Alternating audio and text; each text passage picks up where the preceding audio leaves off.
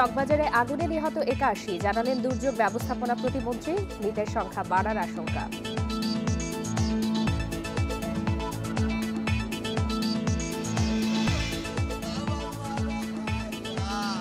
আগুনের ঘটনায় নিখোঁজদের সন্ধানে হাসপাতালে ভিড়, স্বজনদের কান্নায় পরিবেশ ভারী।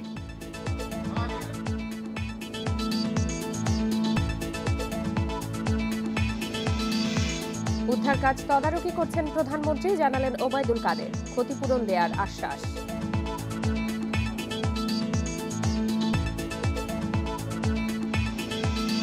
নয় বছরেও বাস্তবায়ন হয়নি নিমতলী অগ্নিকাণ্ডের তদন্ত কমিটির সুপারিশ, ঝুঁকিতে লাখো মানুষ।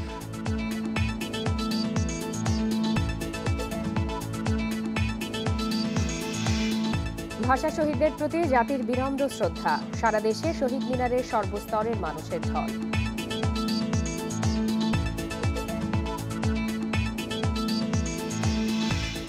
আপনাদের সবাইকে আমন্ত্রণ সংবাদ দুপুরে। সাথে আছি আমি ফারহানা লোপা। এবং আমি খন্দকার এমদাদুল হক। শিরোনাম জানাছিলাম এবার পুরো খবর। পুরান ঢাকার চকবাজারে ভয়াবহ আগুনে অন্তত একাশি জন মারা গেছেন। দুর্যোগ ব্যবস্থাপনা এবং ত্রাণ প্রতিমন্ত্রী এনামুর রহমান একথা জানিয়েছেন। দগ্ধ অর্ধ শতাধিকের মধ্যে কয়েকজনের অবস্থা আশঙ্কাজনক বলে জানিয়েছেন ঢাকা মেডিকেলের চিকিৎসকেরা।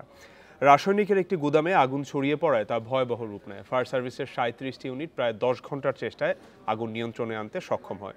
হতাহতের সংখ্যা আরও বাড়ার আশঙ্কা করছে ফায়ার সার্ভিস।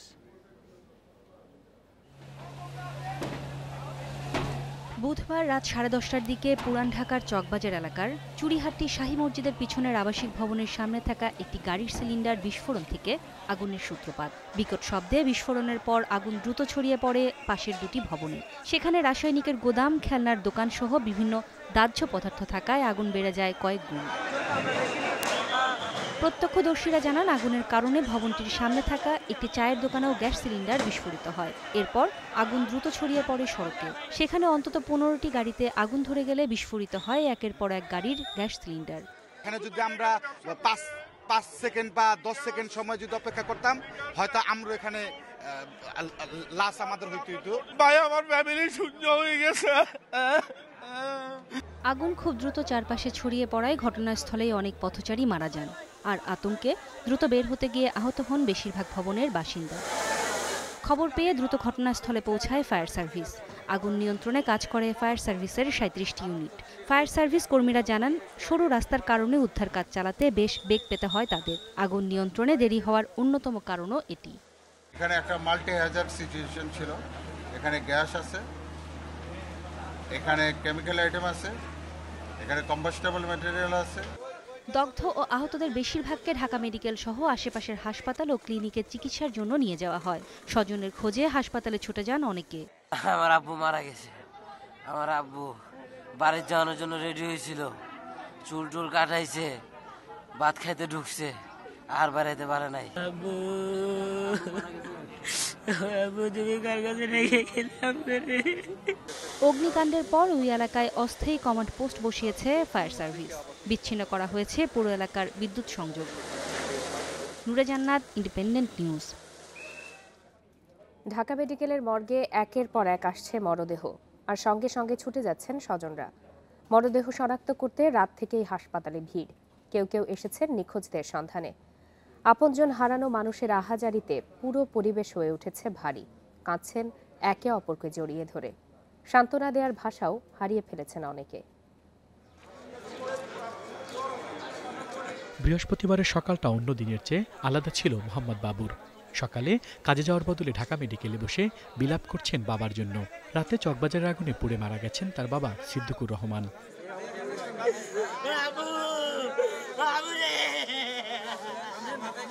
পঁচিশ বছর আগে কাজের সন্ধানে নোয়াখালীর বেগমগঞ্জ থেকে ঢাকা এসেছিলেন সিদ্দিক।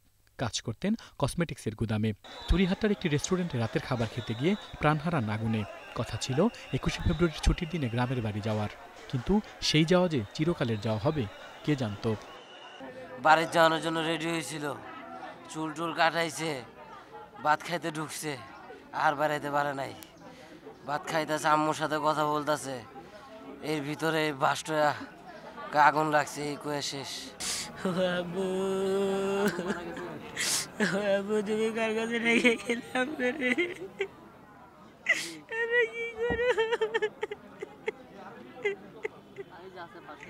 অন্যদিকে রাতের খাওয়ার পর ওষুধ কিনতে বের হয়েছিলেন গৃহবধূ আয়সা বেগম। ওষুধ নিয়ে ঘরে ফেরার হয়নি তার।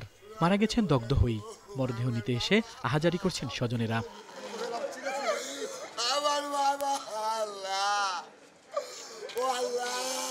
এভাবেই ঢাকা মেডিকেলের সামনে ঢুকরে কাচ্ছেন অনেকেই কারও আপনজন মারা গেছেন কেউ বা দগ্ধ হয়ে মৃত্যু যন্ত্রণায় কাতরাচ্ছেন বার্ন ইউনিটে। এমন করুণ পরিণতি যেন আর কারও না হয়।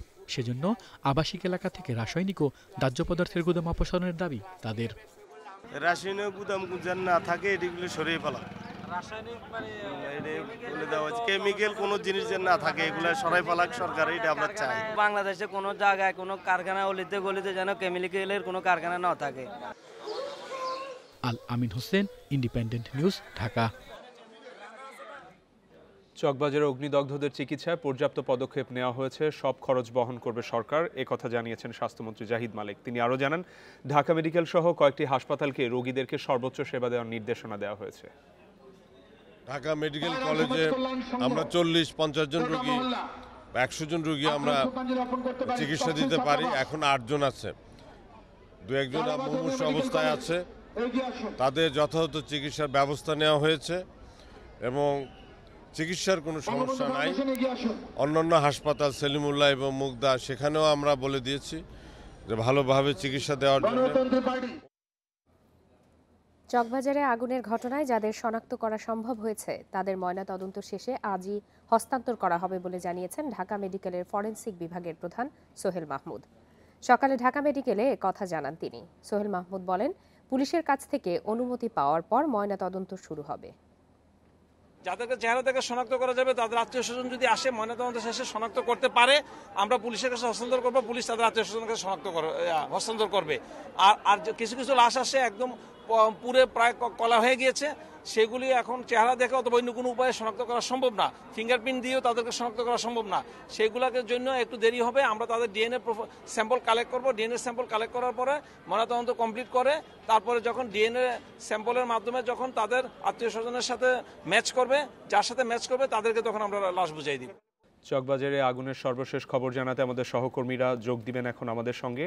আমরা শারিয়ার অনির্বাণের কাছে যাব, তিনি আছেন চকবাজারে এবং এরপরে যাব নূরে আলমের কাছে। নূরে আলম ঢাকা মেডিকেলে, শুরুতেই অনির্বাণের কাছে যাচ্ছি। অনির্বাণ উদ্ধার তৎপরতার কতদূর এগোলো কখন নাগাদ এটা শেষ হতে পারে? আপনি ওখানে আছেন, কি অবস্থা, যদি আমাদের জানান।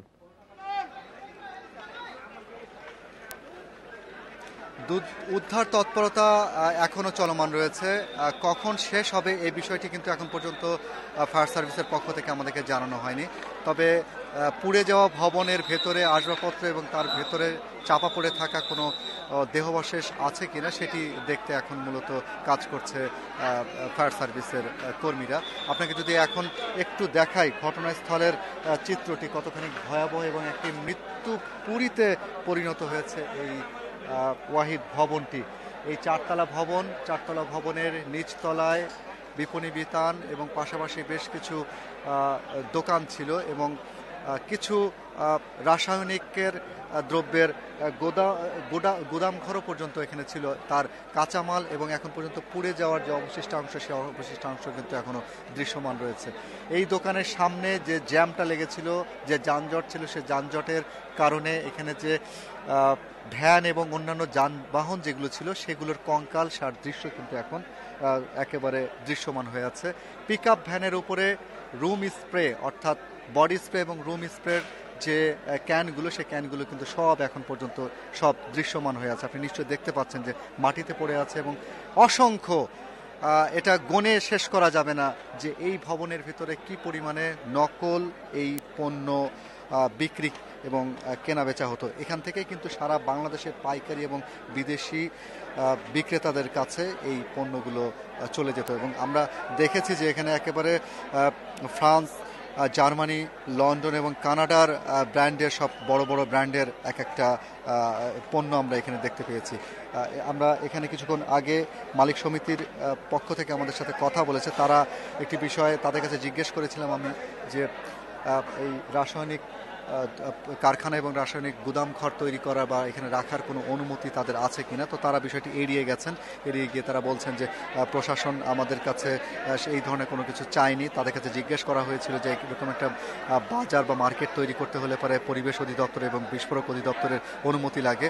তো তারা বলেছে যে ব্যবসা করার জন্য সিটি কর্পোরেশনের পক্ষ থেকে কাছ থেকে তারা একটা ট্রেড লাইসেন্স নিয়েছে এবং সেই ট্রেড লাইসেন্সের বলেই তারা এই এই বাণিজ্যটি দীর্ঘদিন ধরে করে আসছিল। তবে এলাকাবাসী এবং এখানকার ভুক্তভোগী যারা আছে, তারা কিন্তু বারবারই দাবি করছেন যে এখান থেকে এই ভবনটি, অর্থাৎ এখানকার এই ভবনে যে এই কেমিক্যালের ব্যবসাটা চলতো, সেটার বিপক্ষে তারা অবস্থান বেশ কয়েক যুগ ধরে তারা নিয়ে আসছেন এবং এই প্রতিবাদে তারা বিভিন্ন সময় মানববন্ধনও করেছেন এবং প্রশাসনকে অবহিতও করেছেন। কিন্তু সেই অনুযায়ী প্রয়োজনীয় দৃশ্যমান কোনো ব্যবস্থাই নেওয়া হয়নি বলে অভিযোগ করেছে স্থানীয়রা। তারা চান এরকম একটি ঘনবসতিপূর্ণ এলাকা থেকে এরকম যানজটপূর্ণ এলাকা থেকে এই ধরনের ঝুঁকিপূর্ণ যে বেচা কিনার এবং পাশাপাশি গুদামঘর যেগুলো রয়েছে সেগুলো যেন এখান থেকে অপসারণ করা হয়। এই আপনাকে একটু মনে করিয়ে দেই যে দু হাজার দশ সালের পরে আটশো প্রতিষ্ঠানকে উঠিয়ে দেওয়ার জন্য কিন্তু একটা নির্দেশনা দেওয়া হয়েছিল। অনির্বাণ, আপনি কি বলবেন যে এখন যে উদ্ধার তৎপরতা চলছে, মূলত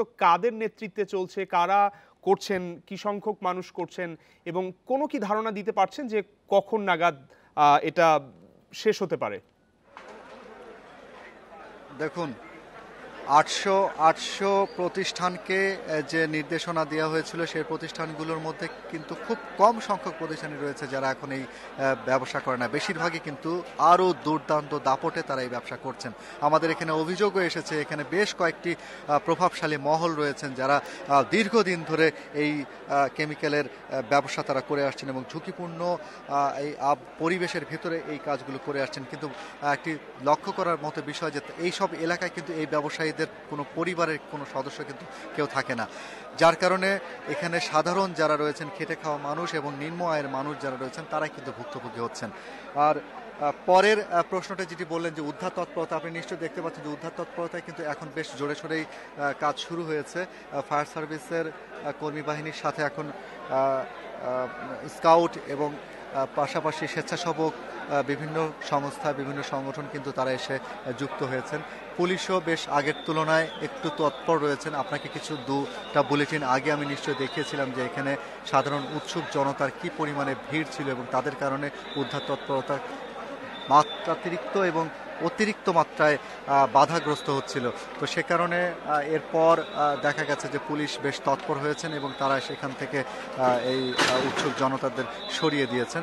এখন মূলত এই ভবনের ভেতরে কোনো কোনায় বা কোনো শক্ত কোনো বস্তুর নিচে চাপা পড়ে আছে কিনা কোনো দেহবাশেষ, সেগুলো সন্ধান করা হচ্ছে এবং এটি হয়তো বা আজকে সারাদিনই লাগতে পারে। কারণ বিকেলবেলায় ফায়ার সার্ভিসের পক্ষ থেকে আমাদেরকে একটি ব্রিফ করার কথা রয়েছেন এবং পাশাপাশি বিস্ফোরক অধিদপ্তরের পক্ষ থেকেও আরও একটি টিম এখানে আসবেন এবং তারা এই ভবনের যারা ব্যবসায়ী ছিলেন, সে ব্যবসায়ীরা এই কেমিক্যাল ব্যবসার সাথে যুক্ত হওয়ার যে নিবন্ধন, সে নিবন্ধন তাদের ছিল কিনা সেগুলো তারা যাচাই বাছাই করবেন এবং পাশাপাশি এখানকার বিভিন্ন নমুনা তারা সংগ্রহ করবেন। তবে নমুনা সংগ্রহের যে বিষয়টি, সেটি কিন্তু এখন অনেকখানি ঝুঁকিতে পড়ে গেছে। কারণ সাধারণ উৎসুক জনতা এলাকায় ঢুকে এবং ঘটনাস্থলে এসে তারা কিন্তু নমুনা অনেকখানি কি ধ্বংস করে ফেলেছে। হ্যাঁ এমদাদ আপনার আর কোনো প্রশ্ন থাকলে বলতে অনির্বাণ আপনি বলছিলেন যে ওই ওয়াহিদ মেনশন কিংবা পাঁচটা ভবন যে এখানে আছে তাদেরকে কেউ ওখানে থাকেন না। মালিক পক্ষের কারোর সাথে কিংবা তাদের কোনো পারিবারিক কেউ থাকে এরকম কারোর সাথে কি আপনারা কথা বলার কোনো সুযোগ পেয়েছেন? দেখুন ওয়াহিদ ম্যানশনের যে মালিক সে মালিককে আমরা এখন পর্যন্ত পাইনি এবং তাকেও কিন্তু পুলিশ খুঁজছে। সকালে যখন পুলিশের মহাপরিদর্শক এসেছিলেন, তখন গণমাধ্যমের কর্মীরা প্রশ্ন করেছিলেন। তো তিনি প্রতিশ্রুতি দিয়েছেন যে তাকে অবশ্যই আইনের আওতায় আনা হবে এবং তাকে জিজ্ঞাসাবাদ করা হবে এবং এই প্রতিষ্ঠানে কতগুলো ব্যবসায়ী, কতজন ব্যবসায়ী ছিলেন সে ব্যবসায়ীদের তালিকা অনুযায়ী তাদের খোঁজ খবর নিয়ে এবং কে কোন ব্যবসা করতেন সেই বিষয়গুলো নিখুঁতভাবে খতিয়ে দেখা হবে। তো এই কঙ্কাল সার এই ভবনের পাশে এখন কিন্তু আমরা স্বজন বা আশপাশের যে পাঁচটি ভবনে যারা বাসির বাসিন্দা ছিলেন, তাদের কিন্তু এখন পর্যন্ত আমরা কোনো খোঁজ আমরা পাইনি। তবে এই ভবনগুলোর ভেতরে যে আর কোনো মরদেহ নেই সে বিষয়ে কিন্তু মোটামুটি রকমের নিশ্চিত হতে পেরেছে এখানকার উদ্ধারকর্মীরা। কারণ আবাসিক ভবন যেগুলো ছিল সেই আবাসিক ভবনগুলোতে কিন্তু তারা সকাল থেকেই খুঁজেছে এবং সকাল থেকে শুরু করে এখন পর্যন্ত নতুন করে কোনো মরদেহ তারা দেখতে পায়নি। সকাল থেকে শুরু করে কিছুক্ষণের এখনই আমরা দেখতে পাচ্ছি যে র্যাবের মহাপরিচালক বেনজির আহমেদ তিনি এসেছেন ঘটনাস্থল পরিদর্শনে। তো এরকম সকাল থেকে আমরা দেখতে পাচ্ছি যে সরকারের ঊর্ধ্বতন অনেক দায়িত্বশীল কর্মকর্তা এবং দায়িত্বশীল মন্ত্রী এবং রাজনৈতিক নেতা, তারাও কিন্তু ঘটনাস্থল পরিদর্শন করেছেন। বিষয়টা যে জাতীয়ভাবে নাড়া দিয়েছেন সবাইকেই সেটা কিন্তু বলার অপেক্ষা রাখে না। দু সালে নিমতলির ঘটনার পর সারা বাংলাদেশের মানুষকে যেমন নাড়া দিয়ে ফেলেছিল, ঠিক ঠিক সেইভাবে কিন্তু এবছরও এবার এই ঘটনাটিও কিন্তু নাড়া দিয়েছে। আপনি জানেন যে আজকে মহান একুশে ফেব্রুয়ারি, গতকাল রাত ছিল একুশে ফেব্রুয়ারির প্রথম প্রহর, ঠিক সেই সময় এই ঘটনাটি ঘটে। সারা বাংলাদেশের মানুষ যখন একুশে ফেব্রুয়ারি উদযাপনের ব্যস্ত থাকার কথা, সেইখানে কিন্তু এরকম একটি শোক, সন্তপ্ত অবস্থার ভিতর দিয়ে সময় পার করছে। এলাকার আতঙ্ক কিন্তু এখনও রয়েছে, তবে সব থেকে বড় যে চ্যালেঞ্জটা হচ্ছে, সেই চ্যালেঞ্জটি হচ্ছে উৎসুক জনতাকে নিয়ন্ত্রণ করে উদ্ধার কাজের তৎপরতা এবং উদ্ধার কাজের গতি বাড়ানো। তো সেই ক্ষেত্রে আমরা দেখেছি যে নিয়ন্ত্রণ করতে গিয়ে পুলিশ কিংবা এখন র্যাবের চিফ ওখানে আছেন তাদের তৎপরতা কতটুকু দেখছেন আপনি অনির্বাণ? হ্যাঁ আমরা র্যাবের র্যাবের র্যাবের প্রতিনিধিদের আমরা সকাল থেকে দেখেছি তবে এখন একটু বেশি দৃশ্যমান হচ্ছে। এবং পাশাপাশি পুলিশের উপস্থিতিও আমরা দেখেছি এবং পুলিশের কমিশনারও পুলিশের Dhaka metropolitan police commissioner Asaduzzaman তিনিও এসেছেন পরিদর্শনে। তো এখন আসলে আমরা জানতে পারব যে এই আইন শৃঙ্খলা বাহিনীর এই গুরুত্বপূর্ণ দুটি কি এবং পাশাপাশি এই ধরনের ঘটনা যেন আর পুনরাবৃত্তি না ঘটে, সেই ক্ষেত্রে তাদের তৎপরতা কি হবে, এই প্রশ্নগুলো আমরা করব। আমাদের গণের সাথে যখন কথা বলবে তখন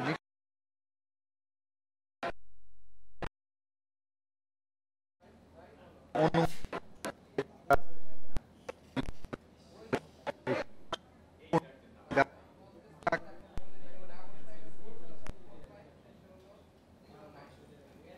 এই প্রতিষ্ঠান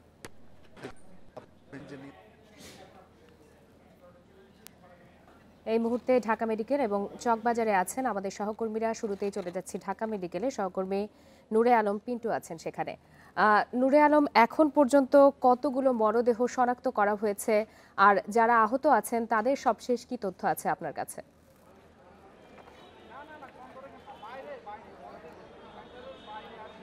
ঢাকা মেডিকেল কলেজ কর্তৃপক্ষ বলছে, তারা সাতষট্টিটি মরদেহ গ্রহণ করেছে এবং যার মধ্যে আঠাশটি মরদেহ এর মধ্যে শনাক্ত করে ফেলেছে এবং সেই আঠাশটি মরদেহের যারা স্বজন রয়েছে তাদেরকে সিরিয়াল অনুযায়ী ডেকে মর্গের ভেতরে এরই মধ্যে প্রবেশ করানো হয়েছে। কিছুক্ষণের মধ্যেই তাদেরকে মরদেহগুলো হস্তান্তর করা হবে। কিছুক্ষণ আগে আমরা দেখেছি বেশ কয়েকজন স্বজন তার প্রিয়জনের মরদেহ নিতে কফিন নিয়ে এই ঢাকা মেডিকেল কলেজের মর্গের ভেতরে প্রবেশ করেছে। সেই চিত্রটি একটু দর্শকদের আমি দেখাতে চাই। তাহলে দর্শকরা বুঝবেন যে এই মর্গের সামনে এই যে স্বজনদের ভিড় প্রিয়জনের মরদেহ নেয়ার জন্য এই ভিড়টি সেই সকাল থেকেই আমরা দেখছি এবং এখানে দূর দূরান্ত থেকে মানুষ এসেছে তার প্রিয়জনের মরদেহ নিয়ে যেতে এবং তারা সেই সকাল থেকে অপেক্ষা করছে। যদিও প্রশাসনের পক্ষ থেকে আমাদেরকে জানানো হয়েছে যে তাদের আনুষ্ঠানিকতা শেষ করতে সময় লাগছে। এর জন্যই এই দেরিটি হয়েছে। তবে আর দশ থেকে বিশ মিনিটের মধ্যে মরদেহগুলো হস্তান্তর করা সম্ভব হবে। আঠাশটি মরদেহ প্রথম পর্যায়ে হস্তান্তর করা হবে বলে পুলিশের পক্ষ থেকে আমাদেরকে জানানো হয়েছে। আর এখানে যারা এই চকবাজারের অগ্নিকাণ্ডে নিহত হয়েছেন, তাদের সবাই কিন্তু চকবাজারেরই বাসিন্দা নন। অনেকে অনেক কাজে এসেছেন, কাজে এসে এই অগ্নিকাণ্ডের শিকার হয়েছেন। আমরা কথা বলেছিলাম এমন একজনের সাথে যিনি নোয়াখালী থেকে ডাক্তার দেখাতে গতকাল রাতেই এই চকবাজারে এসেছিলেন এবং তিনি যখন ডাক্তারের চেম্বারে যান, তার কিছুক্ষণের মধ্যেই সেখানে অগ্নিকাণ্ডের ঘটনা ঘটে এবং সেই ডাক্তারের চেম্বারেই চিকিৎসক সহ এই রুগী তিনি মারা যান। আরও আমরা দেখেছি যে ঢাকা বিশ্ববিদ্যালয়ের একজন শিক্ষার্থীও এই অগ্নিকাণ্ডের ঘটনায় মারা গেছেন। আর স্বজনদের সাথে আমরা কথা বলেছিলাম, তারা কিছুটা ধৈর্যহারাও হয়ে যাচ্ছে। তারা বলছে যে দূর দূরান্ত থেকে সকাল থেকে তারা এখানে অপেক্ষা করছেন এবং তাদের মর তাদের স্বজনদের মরদেহ শনাক্ত করার পরও এখন পর্যন্ত কেন হস্তান্তর করা হচ্ছে না, আমরা দেখেছি যে তারা ক্ষুব্ধ প্রতিক্রিয়া মেডিকেল প্রশাসনকেও জানিয়েছেন এবং কয়েকজন ডাক্তার এসে তাদেরকে শান্ত করেছেন এবং তারা বলছেন যে তাদের কাজে সহযোগিতা করতে এবং যথাসময়ে তারা মরদেহগুলো দিয়ে দেবেন। আর বাকি যেসব মরদেহগুলো শনাক্ত করা যায়নি, মেডিকেল কর্তৃপক্ষ আমাদেরকে বলছে যে এখানকার বেশিরভাগ মরদেহ শনাক্ত করা যাবে না। সেই মরদেহগুলো ডিএনএ টেস্টের মাধ্যমে পরবর্তীতে স্বজনদের কাছে দিয়ে দেওয়া হবে বলে আমাদেরকে জানিয়েছেন। তারই ধারাবাহিকতায় আমরা দেখেছি পুলিশের ক্রাইম সিন ইউনিট দুপুর বারোটার দিকে এই ঢাকা মেডিকেল কলেজ মর্গে প্রবেশ করেছে। তারা মূলত এই মরদেহগুলোর ডিএনএ শনাক্ত করবে। আর স্বজনরা এখানে ক্ষুব্ধ প্রতিক্রিয়া জানাচ্ছেন যে সরকারের নির্দেশনা থাকা সত্ত্বেও কীভাবে চকবাজার এলাকায় এই রাসায়নিক দ্রব্যের গুদাম থাকে এবং এই রাসায়নিক দ্রব্যের ব্যবসা, এই অসাধু ব্যবসায়ীরা চালিয়ে যাচ্ছে সেই বিষয়ে তারা ক্ষুব্ধ প্রতিক্রিয়া জানিয়ে, জানিয়েছেন এবং তারা বলছেন যে, সরকার যদি আরও কঠোর হতো, তাহলে হয়তো বা এরকম একটি দুর্ঘটনা ঘটতো না এবং তারা দাবি জানিয়েছেন যাতে এর পরে এই গুদামগুলোকে এখান থেকে সরানো হয় এবং পরবর্তীতে এরকম দুর্ঘটনা, মর্মান্তিক দুর্ঘটনা যাতে না ঘটে এবং সকাল থেকে এই ঢাকা মেডিকেল কলেজ চত্বর পুরোটা শোকের আবহে জড়িয়ে আছে এবং এখানে স্বজনরা আমরা দেখছি যে অনেক স্বজনই তার প্রিয়জনের শোকে অসুস্থ হয়ে পড়েছেন। তাদেরকেও মেডিকেল কলেজ হাসপাতালে চিকিৎসা দেওয়ার জন্য নিয়ে যাওয়া হয়েছে। আর যারা আহত আছেন, এর মধ্যে নয়জন বার্ন ইউনিটে আছেন আটজন ঢাকা মেডিকেল কলেজ হাসপাতালে ভর্তি রয়েছেন আর একজন আইসিইউতে আছেন বলে মেডিকেল কলেজ কর্তৃপক্ষ আমাদেরকে জানিয়েছেন। আর মেডিকেল কলেজ কর্তৃপক্ষ বলেছেন তাদের সামর্থ্য অনুযায়ী যতটুকু করা সম্ভব তার সবটুকুই তারা করবে বলেও আমাদেরকে এরই মধ্যে জানিয়েছেন। আর কিছুক্ষণ আগেই ত্রাণ প্রতিমন্ত্রী এখানে এসেছিলেন। তিনি বলছেন আহতদের চিকিৎসার জন্য বিশ লাখ টাকা বরাদ্দ করা হয়েছে এবং যারা মারা গেছে তাদের দাফনের জন্য বিশ হাজার টাকা করে তাদের স্বজনদেরকে দেয়া হবে বলেও আমাদের কাছে এই ত্রাণ প্রতিমন্ত্রী জানিয়েছেন। এছাড়া আমরা কথা বলেছিলাম আপনি পুলিশের আমাদের সাথে, থাকুন। পরবর্তীতে আমরা আপনার কাছে আবারও ফিরবো। এবারে আমরা চলে যাচ্ছি ঘটনাস্থল চক বাজারে সেখানে আছেন আমাদের সহকর্মী হাসিফ মাহমুদ শাহ। হাসিব উদ্ধার কাজের অগ্রগতি সম্পর্কে আপনার কাছে সবশেষ কি তথ্য আছে? আর আমরা কিছুক্ষণ আগে দেখেছি সেখানে র্যাব মহাপরিচালক এসেছেন পরিদর্শনে। তো তিনি এসে কি বলছেন? আপনাদেরকে বিস্তারিত জানান।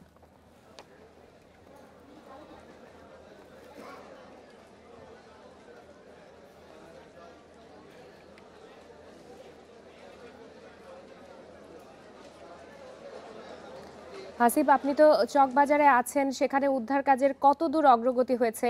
এবং আমরা কিছুক্ষণ আগে দেখেছি সেখানে র্যাবের মহাপরিচালক এসেছেন। তো তিনি এসে কি বলছেন? কি ধরনের অগ্রগতি দেখতে পাচ্ছেন আপনি? আচ্ছা উদ্ধার কাজ আনুষ্ঠানিকভাবে আমাদের ঢাকা দক্ষিণ সিটি কর্পোরেশনের যে মেয়র সাইদ খোকন, উনি সমাপ্ত ঘোষণা করেছেন। তবে ফায়ার সার্ভিসের তিনটি টিম কাজ করছেন। আর কোনো হতাহত রয়েছে কিনা বা এইখানে যে ইউটিলিটি সার্ভিসগুলো বন্ধ আছে, সেগুলো কখন নাগাদ খুলে দেওয়া যাবে সেই বিষয়গুলো ওনারা দেখছেন। তো তার পরবর্তীতে আমরা এসেছেন ঢাকা মেট্রোপলিটন পুলিশ কমিশনার এবং তার পরবর্তীতে এসেছেন র্যাবের ডিজি মহোদয়। তা আমরা Dhaka metropolitan police commissioner Asuzzaman মিয়ার সাথে কথা বলেছিলাম।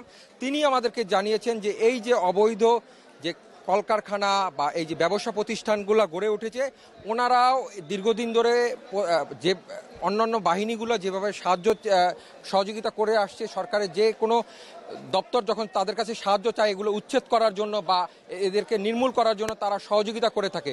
সেক্ষেত্রে এখন যে এই চকবাজারে অগ্নিকাণ্ডের ঘটনাটা ঘটেছে, ওনারা বলেছেন ওনারা নিজেরা একটা তালিকা করবেন। যেহেতু ঢাকা মেট্রোপলিটন পুলিশের একটা বিট পুলিশিং আছে ওনারা বিট পুলিশিং এবং হলো যে যে থানাগুলো রয়েছে এবং ডিসি অফিসগুলো রয়েছে প্রত্যেকটা ঢাকা শহরে, সেই সেই জায়গাগুলোতে ওনারা এই তথ্য নিয়ে এবং এগুলোর বিরুদ্ধে অভিযান করবেন।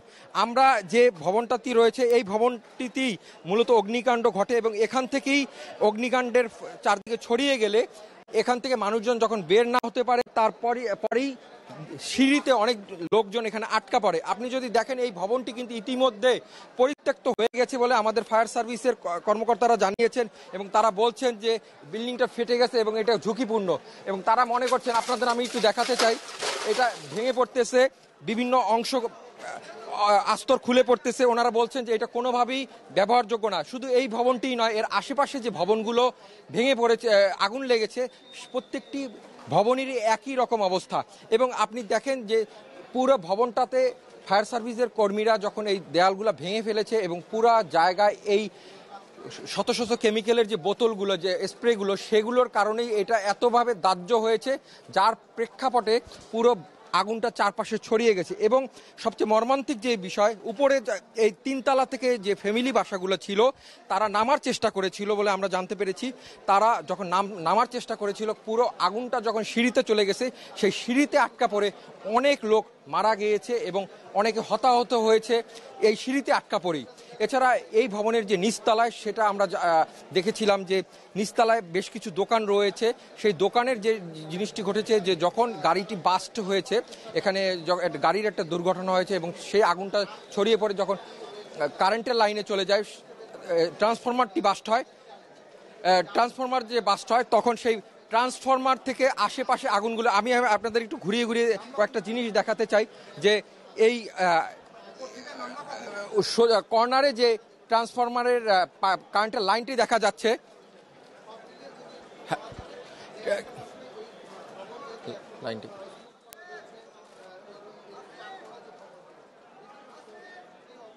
যারা প্রাণে বেঁচে ফিরেছেন তারা এখন কোথায় আছেন? তাদের কারোর সাথে আপনার কথা হয়েছে কিনা?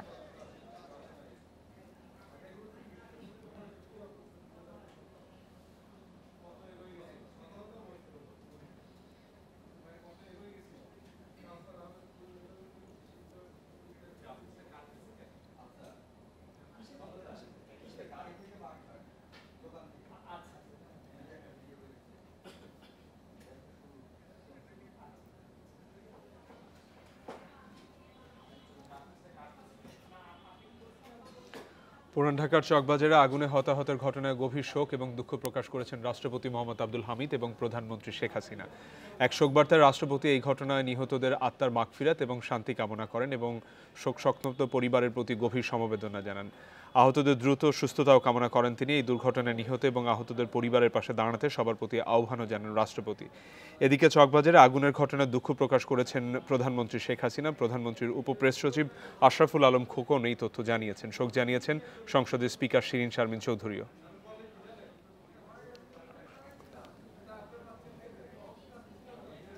চকবাজারের আগুনের ঘটনা তদন্ত করে ক্ষতিগ্রস্তদের ক্ষতিপূরণ দেওয়ার আশ্বাস দিয়েছে সরকার। নিহত শ্রমিকদের এক লাখ ও আহতদের পঞ্চাশ হাজার টাকা করে ক্ষতিপূরণ দেওয়ার ঘোষণা দিয়েছে শ্রম মন্ত্রণালয়। একই সঙ্গে পুরান ঢাকা থেকে কেমিক্যাল কারখানা ও গোডাউন সরাতে সব ধরনের সহায়তার আশ্বাস দিয়েছে পুলিশ।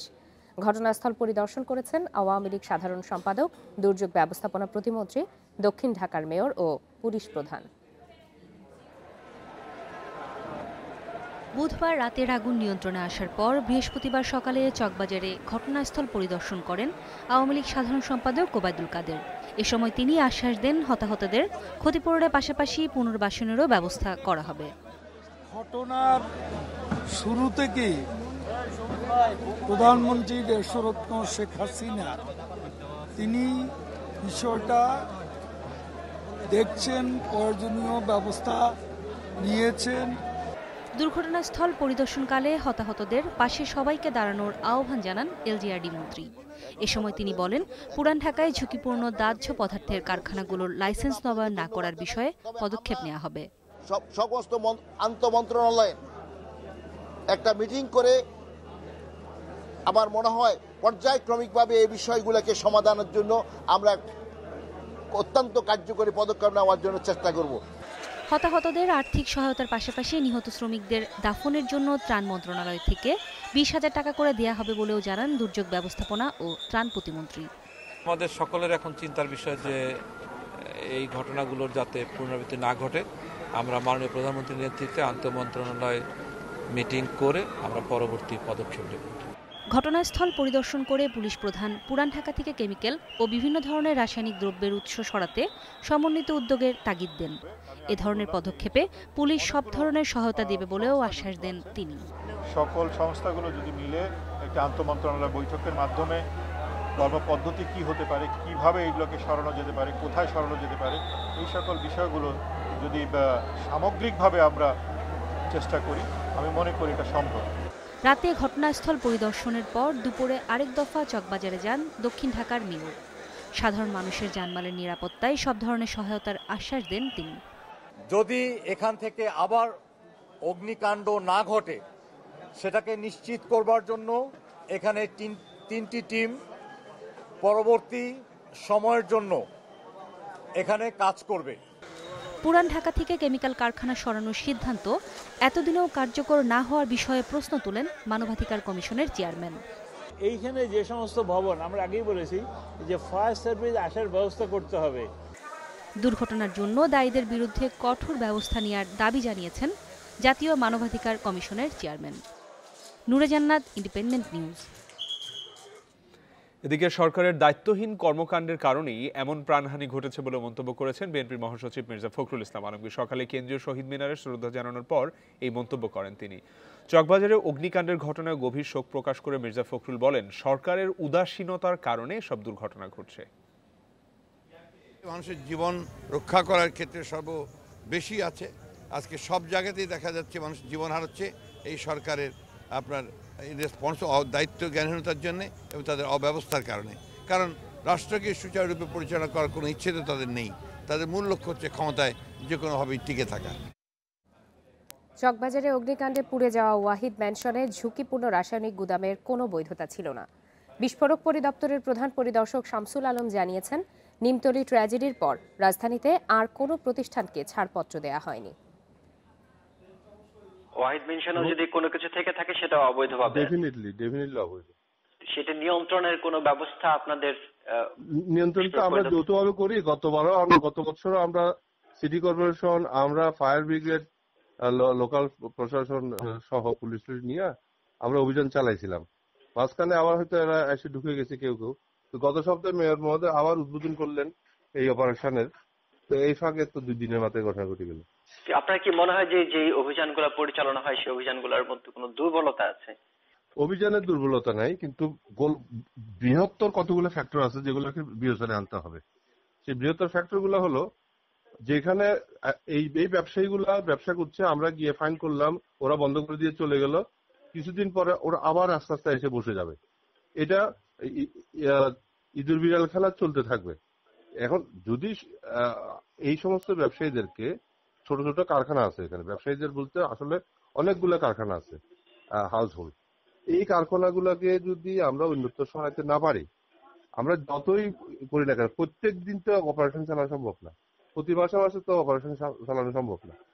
তো এই ওদেরকে যদি আমরা বিকল্প ব্যবস্থা করতে না পারি, তাহলে এই, এটা নির্মূল করা খুব ডিফিকাল্ট হয়ে যাবে। এবং চকবাজার পুরান ঢাকা, পুরো এলাকাটাকে হয় আবাসিক এলাকা ডিক্লেয়ার করতে হবে, অথবা নির্দিষ্ট কিছু গুডস এর জন্য শুধু ব্যবসা করা যাবে, আর কোনো অন্য কোনো ব্যবসা করা যাবে না। ওদেরকে ওদের সহায় দিতে হবে রাজধানীতে রয়েছে এক হাজারের বেশি অবৈধ রাসায়নিক এবং দাহ্য পদার্থের গুদাম। এর মধ্যে পুরান ঢাকাতেই আছে সাড়ে আটশো। আর অন্তত দুশো ধরনের ক্ষতিকর এবং ঝুঁকিপূর্ণ রাসায়নিকের ব্যবসা রয়েছে এলাকা জুড়ে। এসব রাসায়নিক আগুনের সংস্পর্শে এলেই ঘটছে ভয়াবহ দুর্ঘটনা। ঘিঞ্জি অলিগলি আর ঘনবসতিপূর্ণ এলাকায় কারখানা কতটা বিপজ্জনক হতে পারে? বুধবার রাতে তা আবারও দেখল মানুষ। চকবাজারের চুরিহাট্টায় অন্য ভবনে আগুন তিন থেকে চার ঘন্টায় নিয়ন্ত্রণে আসলেও রাসায়নিক থাকা ভবনটির আগুন নেভাতে সময় লাগে নয় ঘণ্টার বেশি। ওয়াহিদ ভবনের মতো রাসায়নিক পদার্থ আছে পুরান ঢাকায়, এমন ভবনের সংখ্যা সাড়ে আটশো। ফায়ার সার্ভিসের তথ্য মতে এসব গুদামে রয়েছে glycerin sodium anhydrous sodium thiosulphate, hydrogen peroxide, methyl, ethyl ketone, thinner, আইসোপ্রোইলের রাসায়নিক।